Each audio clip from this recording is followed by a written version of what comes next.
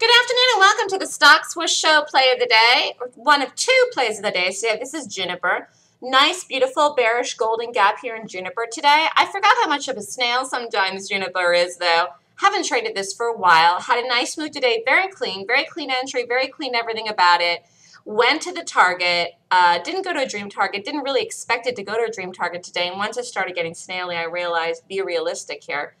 Um, of course, the market's very bullish today too. Not initially out of the gate this morning, but this is done for the day. And actually hit out of this at the low of the day. Good exit on this. Good, perfect entry in this perfect exit.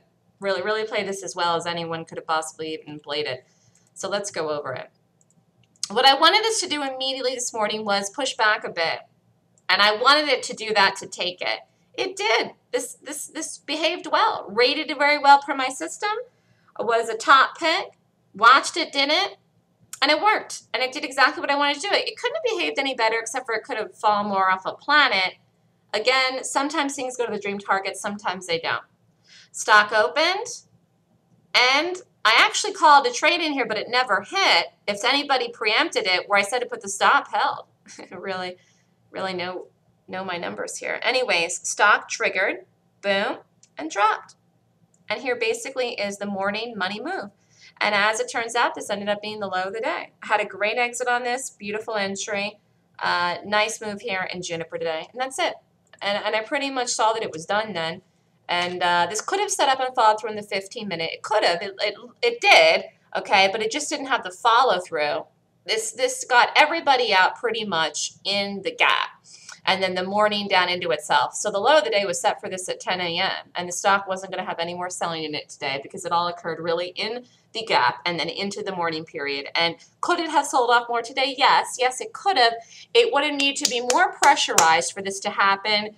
And again, this is a bank. You have a bullish market that's happening right now today. It's summer. It's the middle of the afternoon.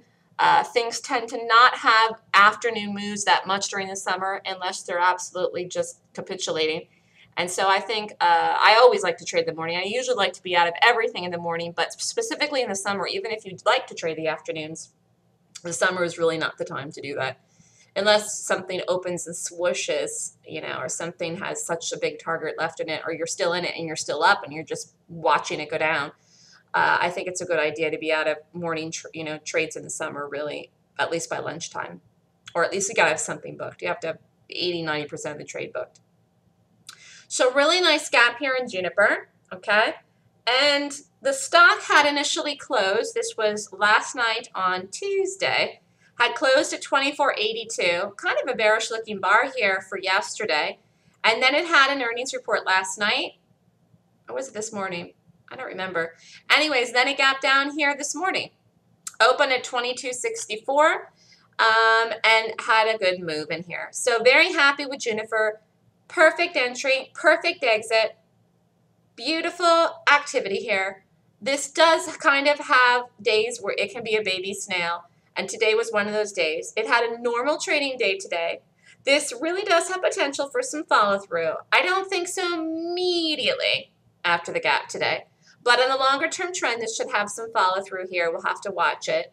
And uh, nice move today, and uh, stock swoosh show call of the day here, play of the day in Juniper.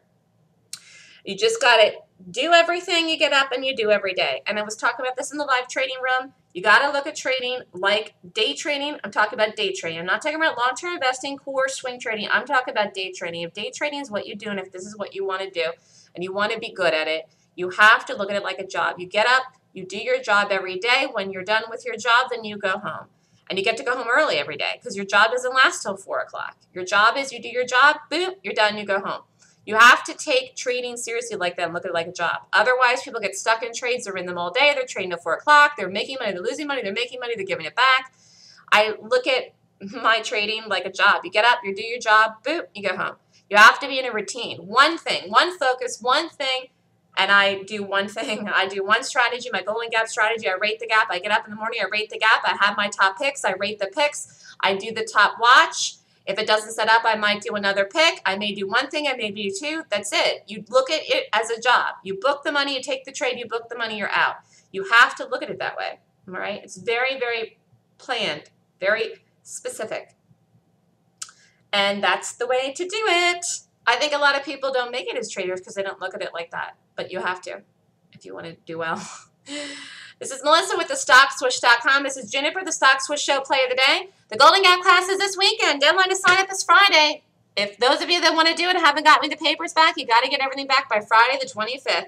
Class is this weekend, July 26th and 27th from 9 a.m. to 5 p.m. Eastern Time.